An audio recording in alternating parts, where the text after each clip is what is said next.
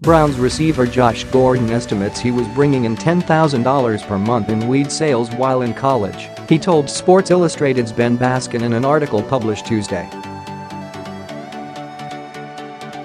Gordon said that as a sophomore at Baylor, he was receiving as much as 6 pounds of weed, vacuum-sealed and wrapped in mylar, sprayed with kerosene and covered in coffee beans to mask the smell, shipped through U. S-mail every week from a dealer back home. He then would drive to Dallas, Austin and San Antonio to sell it.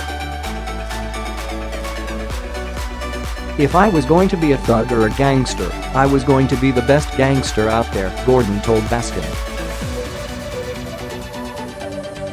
Gordon is eligible to return for Cleveland this Sunday against San Diego, and if he plays it will be his first regular season game since 2014 due to drug suspensions. Gordon grew up in Houston, joining a gang as a sophomore at Lamar High School, he told Baskin. Every morning he would pick up a .38 special from a tattoo parlor and return it at the end of the school day. In high school, Gordon said he sold drugs, stole cars and bought counterfeit money.